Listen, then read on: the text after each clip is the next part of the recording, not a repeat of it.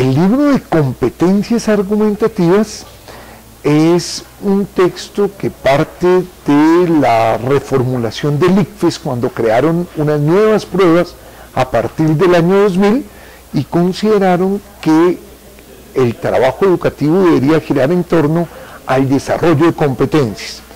El libro va a explicar qué es una competencia, qué es la argumentación y cómo puede hacer un maestro para desarrollar las competencias argumentativas de sus estudiantes. Es un texto que también eh, refleja la experiencia que como profesor de la asignatura de pensamiento he tenido en los últimos 20 años.